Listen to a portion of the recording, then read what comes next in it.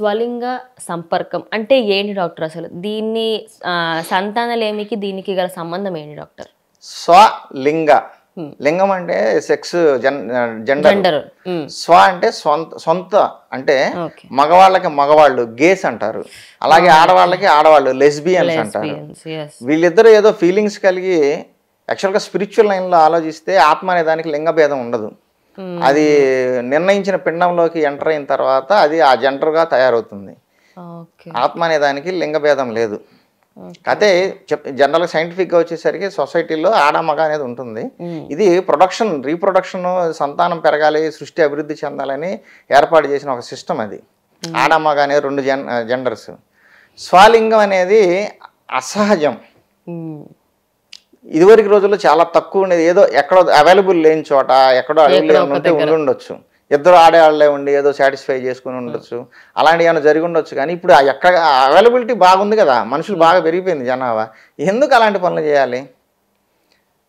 మనం ఏం చేయలేము వాళ్ళు అదేమంటే మాకు హక్కులు ఉన్నాయి అంటారు కానీ అన్యాచురల్ ఏది చేయకూడదు. స్వలింగం చేసుకుంటే జస్ట్ సాటిస్ఫై అవుతారు కానీ పిల్లలు పుట్టరు. ఒకవేళ వాళ్ళు ఇప్పుడు ఇద్దరు లెస్బియన్స్ ఉన్నారు.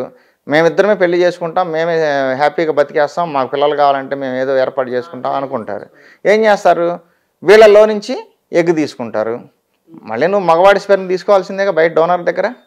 అప్పుడు మీ ఇద్దరికి ఎట్లా పుట్టినట్టు అది కాదు అందువల్ల స్వలింగ సంపర్కం అనేది only for act of sex కోసమే పనిచేస్తుంది తప్పితే ఒక మానసిక తృప్తి కోసం శారీరక తృప్తి కోసం తప్పితే సంతానానికి పనికిరాదు. ఇప్పుడు doctor care homeopathy Andhra Pradesh Telangana అన్ని బ్రాంచుల్లో ఫ్రీ కన్సల్టేషన్ మరియు ఇరవై ఐదు శాతం అన్ని మందులపైన గొప్ప డిస్కౌంట్. అపాయింట్మెంట్ కోసం వెంటనే కాల్ చేయండి. Seven double three seven double five zero two eight zero seven six seven five double zero seven triple zero. So doctor ఇప్పుడు మీ దగ్గరికి కూడా లెస్బియన్స్ కానివ్వండి గేస్ కానివ్వండి అంటే అంటే మగ లక్షణాలు నాలో కనిపిస్తున్నాయి నేను ఆడపిల్లని.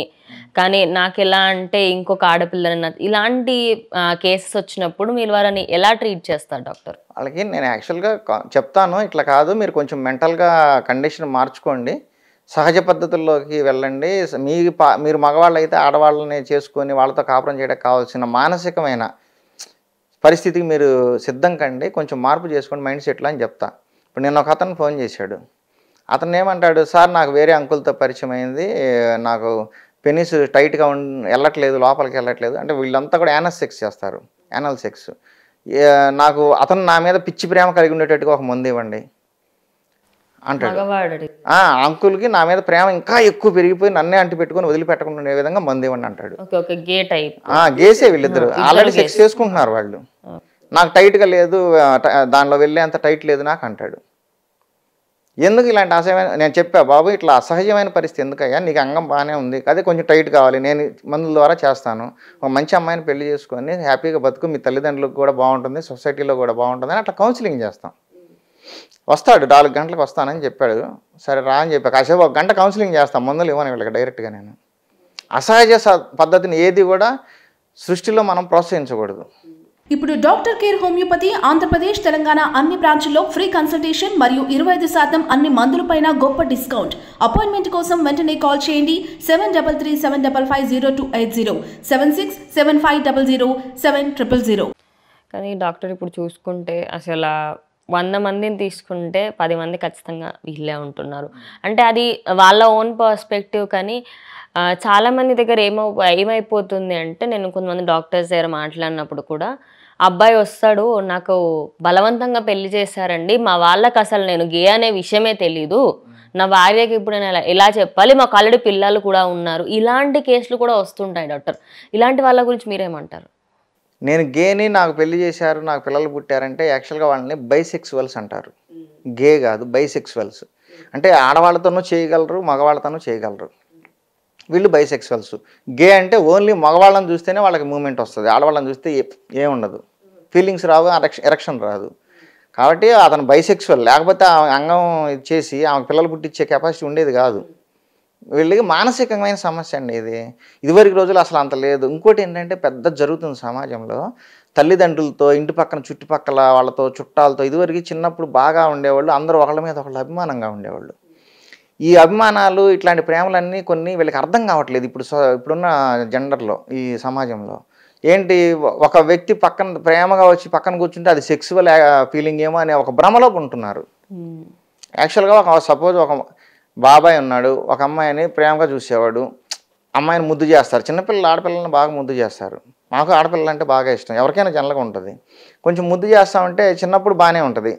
ఒక ఏజ్ వచ్చిన తర్వాత వీళ్ళకి ఏంటంటే బాబాయ్ ఏమన్నా నా మీద ఓవర్ చేస్తున్నాడా? ఈ యూట్యూబ్స్ కానివ్వండి ఈ సమాజంలో చెప్పుకునేవి ఇవన్నీ చూసి ఇది బయట ఉన్న మీడియా వల్ల కూడా ఇలాంటి తప్పుడు ఆలోచనలు వీళ్ళకి కలుగుతున్నాయి. బాబాయ్ అంత ప్రేమ నీ తండ్రి తర్వాత తండ్రి అంతోడు నేను చిన్నప్పుడు ఎంత ప్రేమగా చూసాడు ఇప్పుడు అదే ప్రేమగా చూస్తున్నాడు. ప్లస్ వీళ్ళకి మెచ్యూర్ అయిన తర్వాత ఏమవుతుందండి ఈ అమ్మాయిలకి? కొంచెం మగవాడి స్పర్శ తగలంగానే కొంచెం సెన్సేషన్స్ మార్పులు వస్తాయి కదా వయసు దాటి వయసు వచ్చిన తర్వాత. అది వాళ్ళు ఏమనుకుంటారంటే పొరపాటుగా అర్థం చేసుకుంటారు. ఇన్సిస్ట్ అనేది రావడానికి సమాజంలో కుటుంబాల్లో కారణం ఏంటంటే రాంగ్ ఫీలింగ్స్ ఇవన్నీ కూడా. మేల్ పార్ట్నర్ మీద రావాల్సిన ఫీలింగ్స్ ఏదో ఒక మగవాళ్ళు ఎవరన్నా ఫ్యామిలీలో కూడా టచ్ చేస్తే కలగటం. అవి రాంగ్ ఫీలింగ్స్ వీళ్ళకి కౌన్సిలింగ్ అవసరం. ఇట్లా కాదమ్మా ఇది అభిమానం. సెక్సువల్గా వచ్చే ప్రేమ వేరు అభిమానం వేరు ఆ, చుట్టకాల్లో ఉండే అభిమానాలు వేరు. ఇవన్నీ ఎక్స్ప్లెయిన్ చేయాలి తల్లిదండ్రులు. ఇప్పుడు అంత టైమే ఉంది. వీళ్ళు లేసావా పళ్ళు పళ్ళు తోమామా నోట్లో ఇంత ముద్ద వేసామా కూల్ బస్ ఎక్కించామా సాయంత్రం వచ్చావా ఈ టీవీ చూ చూడండి నన్ను అని చెప్పి తీసుకెళ్ళి ట్యూషన్లో పడేయటం. అవన్నీ లేకుండా మీతో టైం గడపాలి. పక్కన ఇరుగు పొరుగు వాళ్ళు మన వాళ్ళతో టైం గడపాలి. ఇది వరకు రోజులు అలానే ఉండేది. అప్పుడు ఏమవుతుందంటే ఏ ప్రేమ ఏంటి అనేది వాళ్ళకి అవగాహన ఉంటుంది. బాబాయ్ ఇది తాత ఇది అమ్మ ఇది అక్క ఇది అని. ఇప్పుడు అవన్నీ లేకపోయేసరికి అన్నీ ఒకటే ఫీలింగ్ అనే ఒక అపోహలో ఉంటున్నారు వీళ్ళకి. కౌన్సిలింగ్ అవసరం వీళ్ళకి. మెయిన్ పిల్లలకు కాదు పెద్దవాళ్ళకి అవసరం. పెద్దవాళ్ళకి ఇచ్చేసి వాళ్ళ ద్వారా పిల్లల్ని కరెక్ట్ చేయించాలి. అప్పుడు ఈ సమస్య పోతుంది.